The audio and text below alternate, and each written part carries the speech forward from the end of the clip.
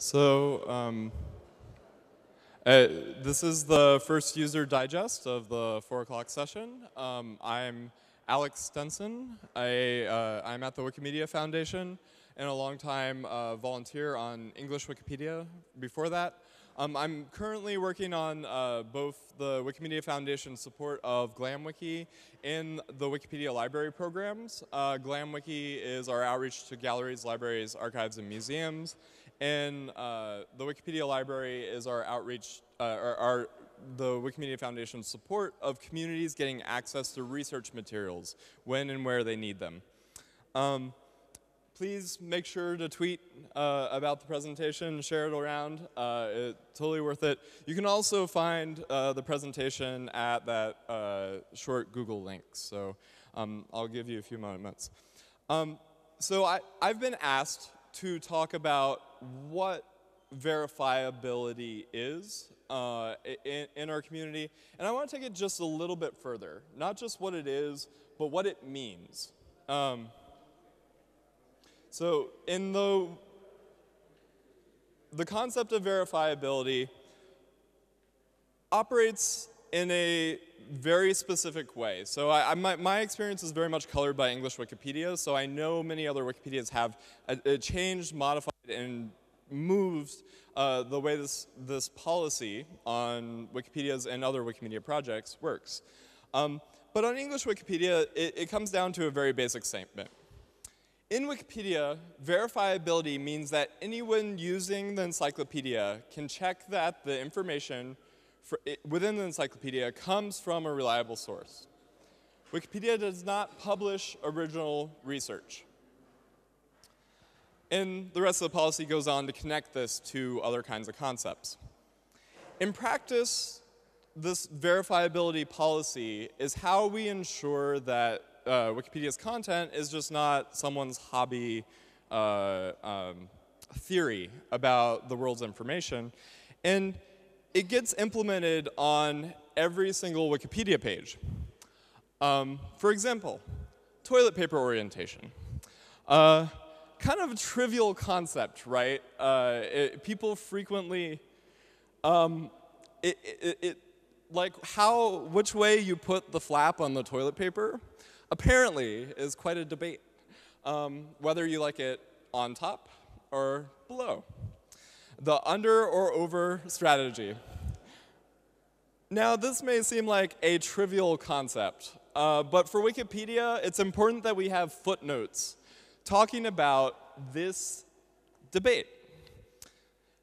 For example, if you really care about being an over uh, toilet paper orientation person. Yeah, yeah, see. You might doubt those opinions out there of the under people. and, and in practice, if we didn't have footnotes saying that people have both of these opinions, the talk page on that Wikipedia article would be really heated. And we know it would be really heated because there's a whole body of scholarship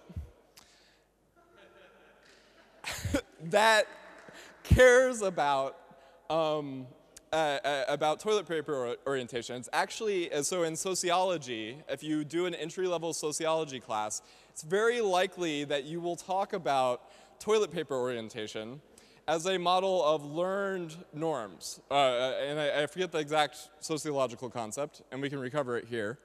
Um, but the idea is that like toilet paper orientation, it, we learn it from our parents or from habit, and we create opinions about it without actually consciously doing so. So you only learn about this when you get married or move in with your friend, right? Nurture or nature. But what's so paradoxical about this is these opinions live both in scholarship and in popular discourse. And so on Wikipedia, when we, when we use the concept of verifiability, we tie it back to things like these academic articles that legitimately um, are, are, are reviewed and have scholarly rigor into popular materials like the Huffington Post uh, uh, business, which had a opinion piece about this. Now, we use footnotes on English Wikipedia to verify this. So in practice, every single sentence on a Wikipedia article that we want to stick. So if you're a, a, new editor to Wikipedia, this is one of the secrets to getting your content to stick. You provide a footnote at the end of the sentence. And in practice, experienced Wikipedians rarely add any sentence material on English Wikipedia that does not have a footnote except for in the introductory uh, section of the article where that information is tied. This creates a whole narrative. Uh, our content is, uh, we, you can trust, you can rely on our content because of these footnotes. And this policy comes from a very specific time in the evolution of, of English Wikipedia. Uh, in 2005, 2006, this policy page was first created on English Wikipedia just about the same time that in 2006, Jimmy Wales was giving a keynote at Wikimania, so 10 years ago, saying, we've, we've filled in all these gaps where someone can just write content that they have common knowledge about.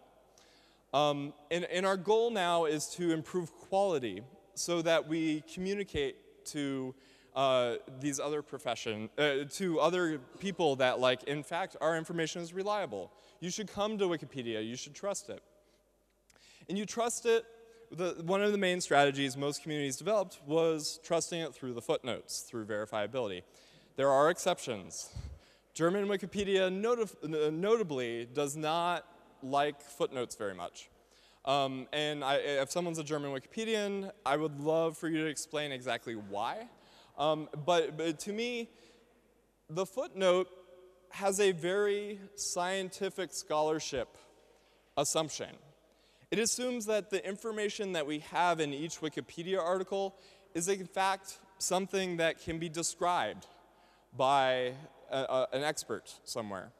Uh, some, uh, some basic information like the sky is blue um, or it, it, that's common experience is often very hard to verify in this way. Or more complicatedly, if we're in a community like India and there's a popular children's game um, in your particular culture or region, it's often not studied in a way that we can point to a verifiable source.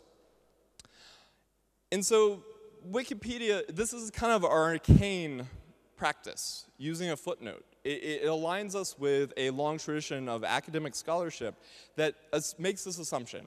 Makes this assumption that there is information which can in fact be, or is verified. It, it does have connections.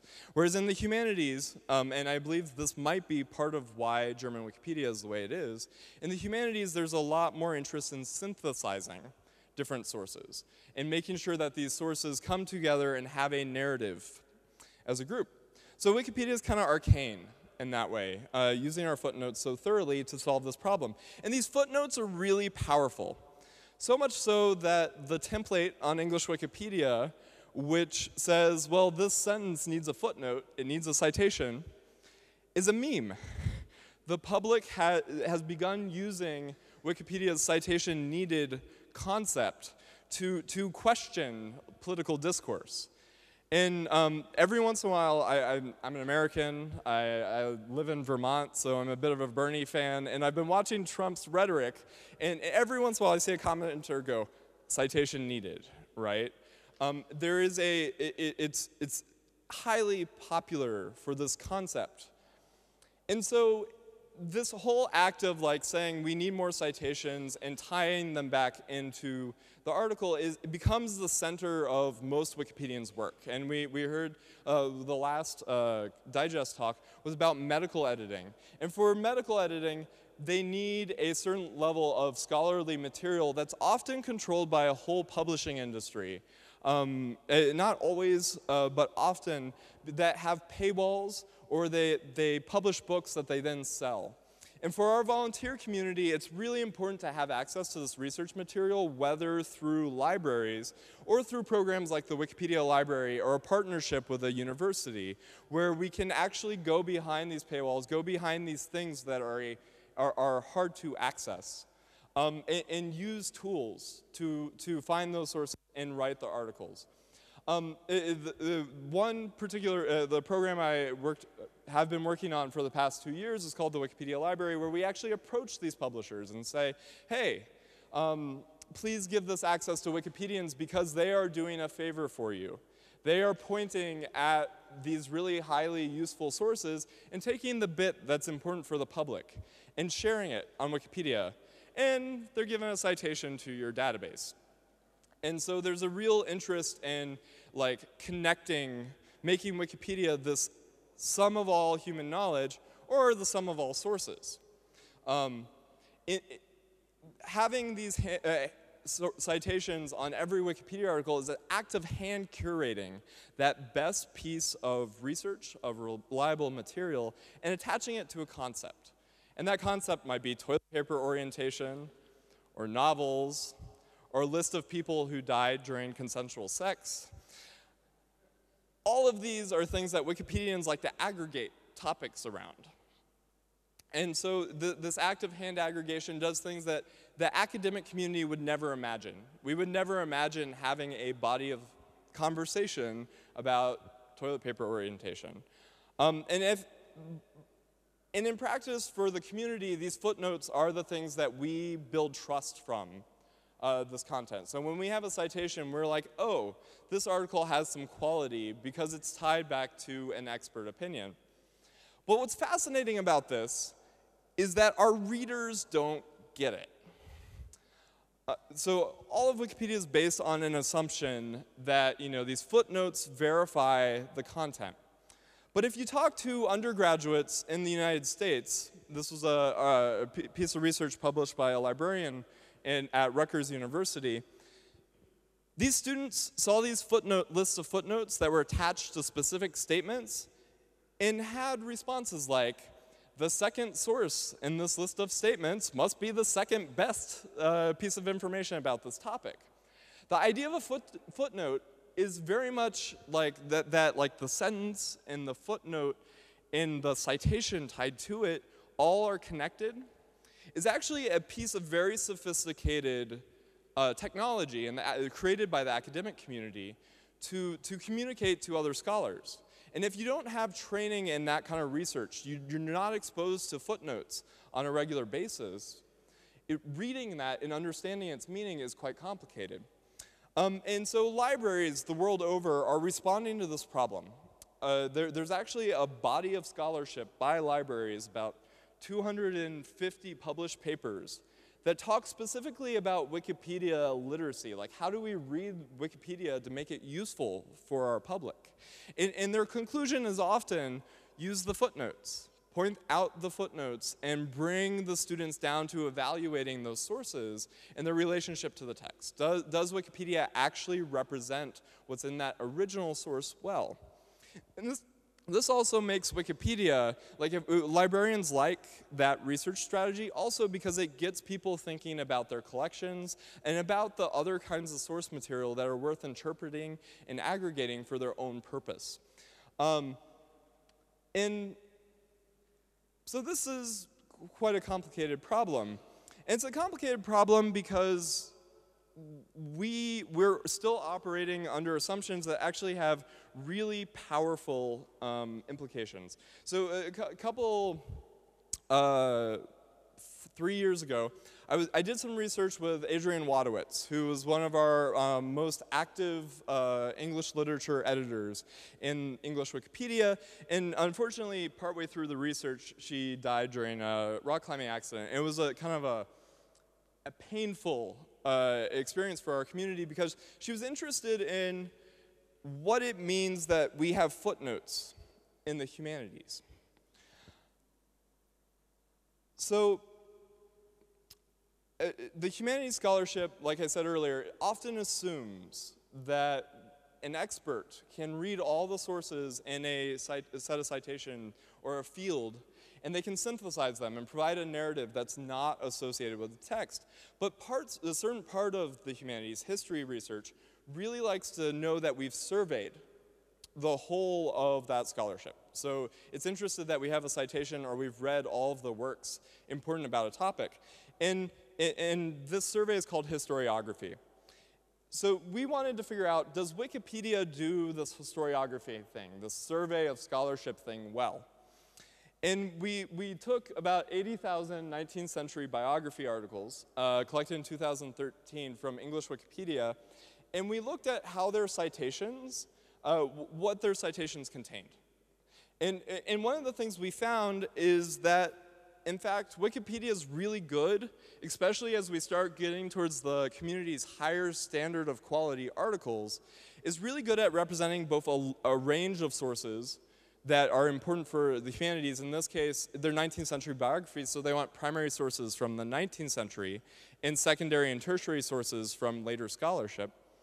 Um, but it also showed that uh, Wikipedia is really good at finding this current research about these topics and making it visible to the public.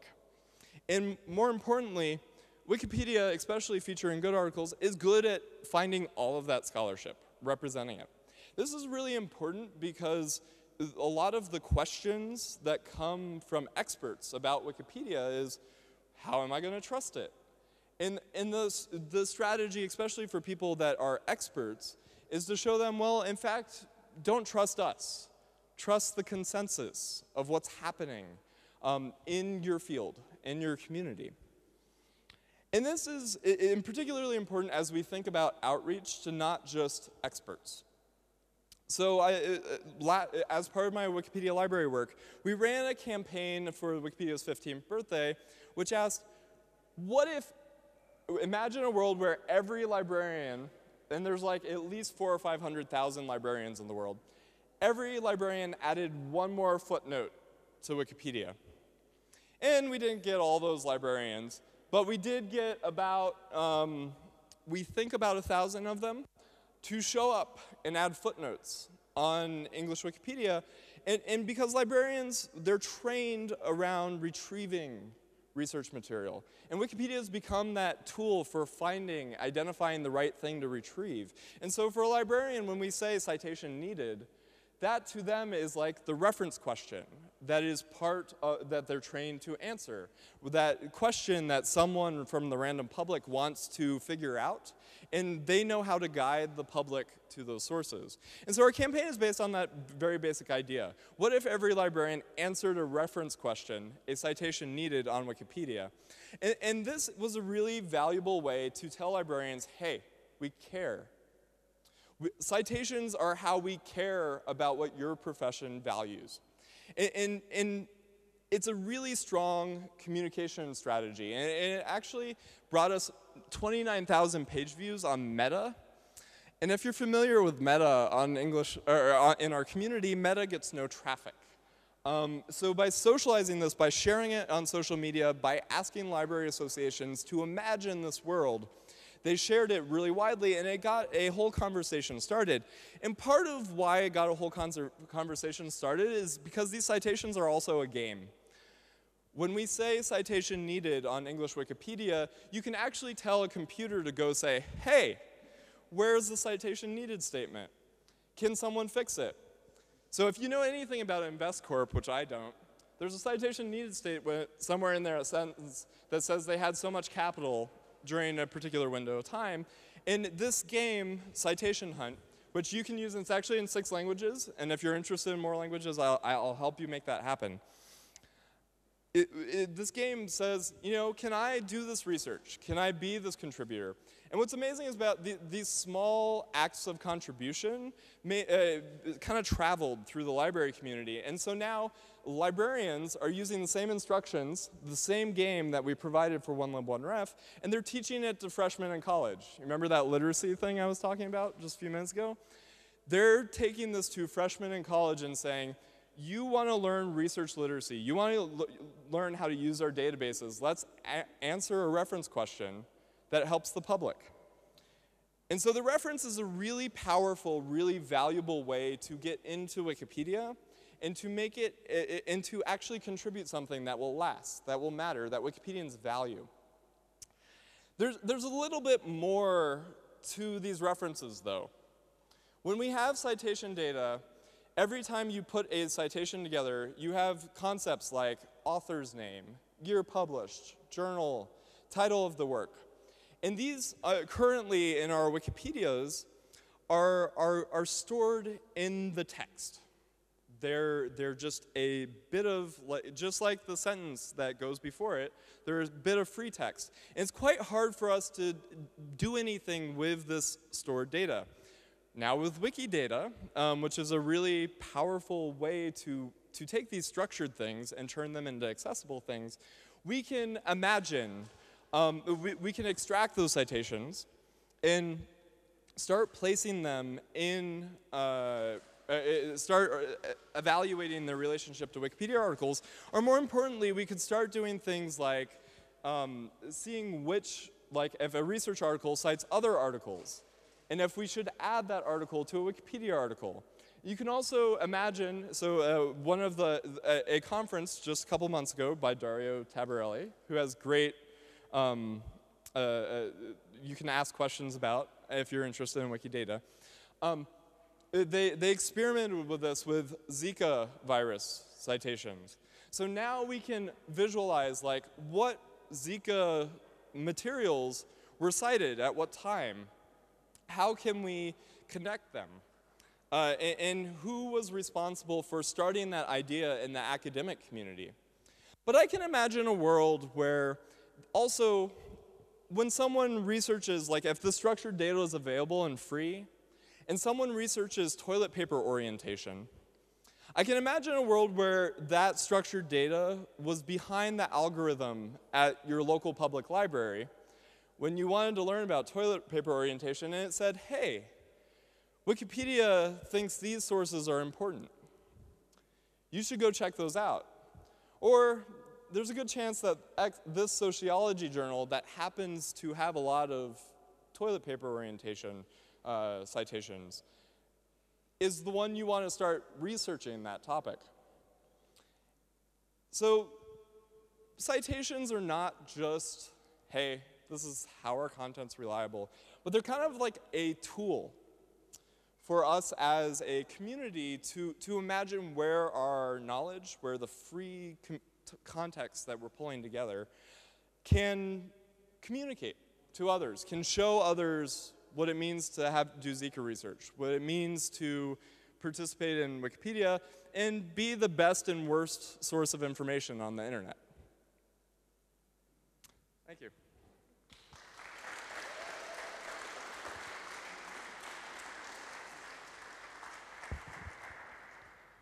And I'm open to questions.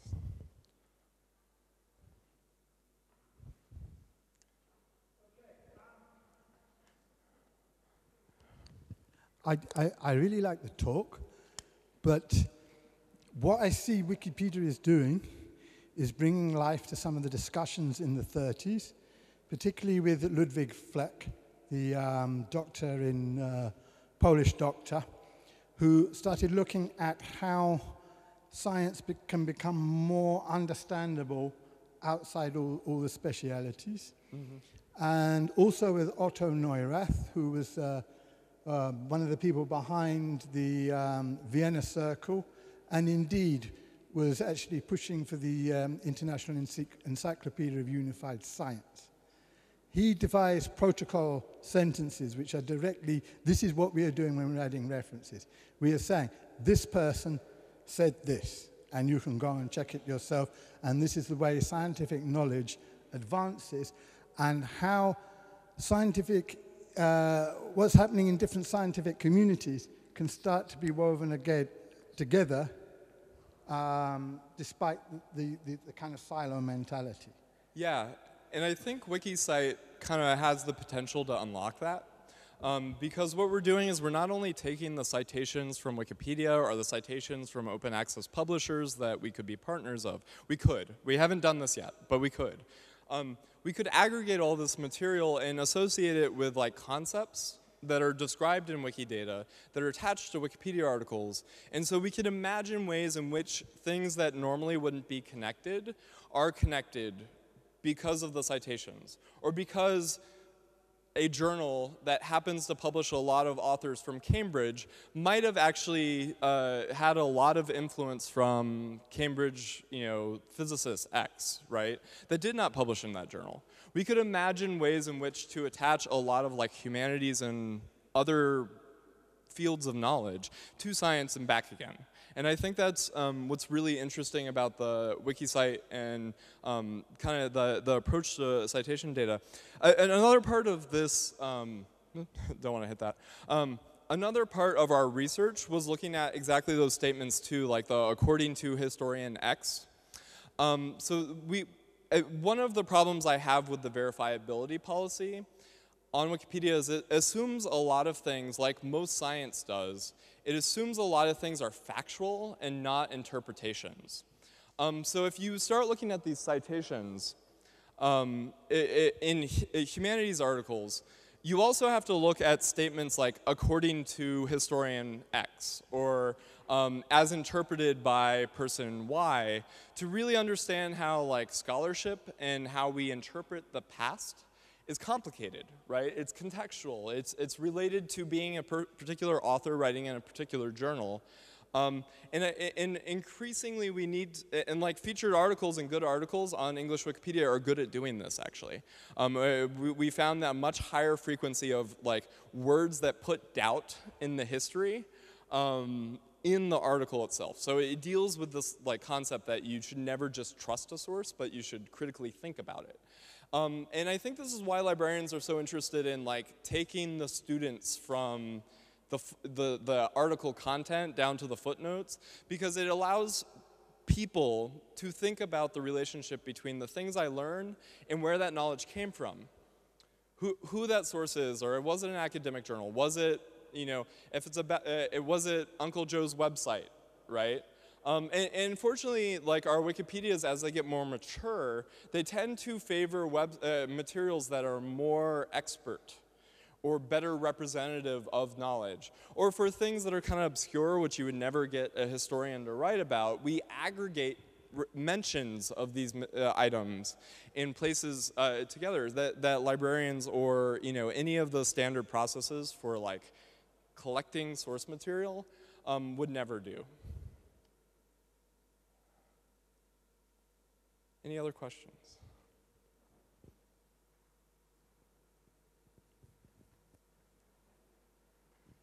Hi, um, thank you so much for this talk. This was fantastic. Uh, I'm, my name is Andrea, and I've been doing kind of similar work for a long time, so I'd like to talk to you afterwards. I particularly am interested in this idea that we have to bring people down to the footnotes. Um, that's an artifact of the ways that scientific papers have been written for centuries. Um, it's very archaic.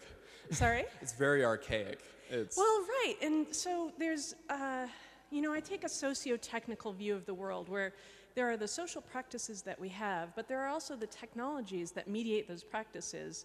And that's a, that's a, a holdover from papers and we have a totally different medium here. So I would love to think more, exactly, yes, about how could MediaWiki actually surface features of citations and citation lists that could help people be smarter about thinking yeah, so the, this literacy, uh, literacy scholarship um, from the libraries makes a lot of recommendations about like giving students rubrics and uh, giving students like questions they should ask of the material. And I think we could, and, and the new readers team at the Wikimedia Foundation is starting to find, it, it, part of the research they're finding is they're starting to see that um, people in like Nigeria and India, India and Mexico don't have the context of interpreting like how this content was produced, right? So we're actually, by, by not telling people like we get content from footnoted material anywhere in the interface,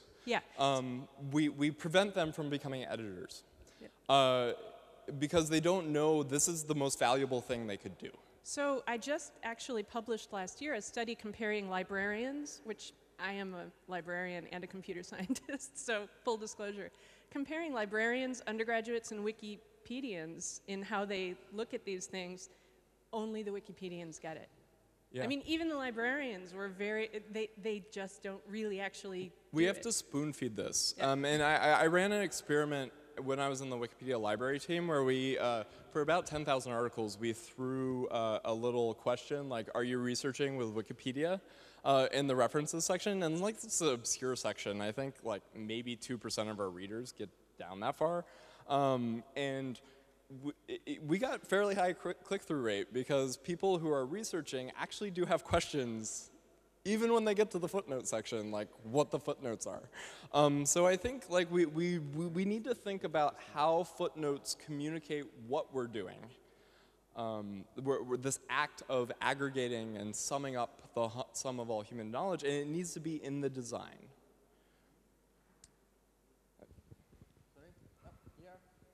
Yes, if I may interject uh, the, the, point that uh, um, you were making, Andrea. Um, I think there's definitely something big to uh, for us as a movement to focus, uh, focus on when it comes to design of uh, interfaces. There's also something that uh, I feel strongly about, and it's the fact that uh, whether or not people actually uh, look at the references or follow the references, the very presence of that reference as a, a way of supporting a statement in, in Wikipedia is absolutely critical. And um, and right now, it's extremely hard uh, to have uh, mechanisms, whether human or algorithmic, to actually check if that reference should be there, if there are better references, if that reference maybe got retracted uh, 10 years ago, but in fact we're still citing it. So I think there's, a, there's definitely an, an important problem about how we display them, but it's even more fundamental work to do about uh, the selection, the manipulation, the um, uh, the study and analysis of uh, the actual references that these footnotes uh, surface. And that's where WikiCite, uh, I think, can be um, a helpful force. Yeah. That was Dario Taraborelli of research at the foundation. Um, so I think we, one more question, two more? Yeah, so. We'll, oh. So, uh, hi, Martin from German Wikipedia. Um, so maybe one of the problems with footnotes is that they are footnotes, and the people have to go down all the page and see this list, which doesn't look really readable to uh, a user who's just searching for information. And um, maybe there's a technical solution just by displaying the footnotes in bubbles. I think there are already uh, tools around who do that for people who activate them. Maybe we should in, yeah, ask the WMF, uh, WMF to implement something for the normal reader. Well, yeah, and so English Wikipedia turned on a gadget uh, not too long ago, kind of silently turned on a gadget that actually does this for readers. Um, part of the problem, though, is those footnotes are still out of context, right? It's still, uh, like, the, re the reader does not know that that bits of metadata that are organized in weird formatting, they don't know what it is unless they've read academic material that has citations. So it's, it's a really complicated, like, we need to explain it everywhere. Um, can we get the one more question? I, we're like two minutes over. Okay, last one. Okay, I want to point out that we as Wikipedians really have an opportunity to advance the state of citations. That's because in our templates we include things like ISBN, OCLC numbers, which for those of you don't know, will give you the closest library where you can find a printed source. We can put in subscription required that will tell you whether it's a closed source. Um, we have two problems with uh, that. One is, you know, how do we store that data? Of course, Wikidata is the obvious solution. The other problem is how do we display that in a uh, compact way? Because we don't want to put like necessarily OCLC subscription required, et cetera, et cetera. But we have tools that would enable us for a user to click on that and then display the information either pop-up or another, so, another way. Yeah, and, and I want to say thank you uh, for all the great questions. And I think this is something we need to, like some of our communities do not want to spend time thinking about literacy. Um, and there is resistance. And I think we need to have those conversations and we need to have them systematically and repetitively. Um, so let's, uh, more citations.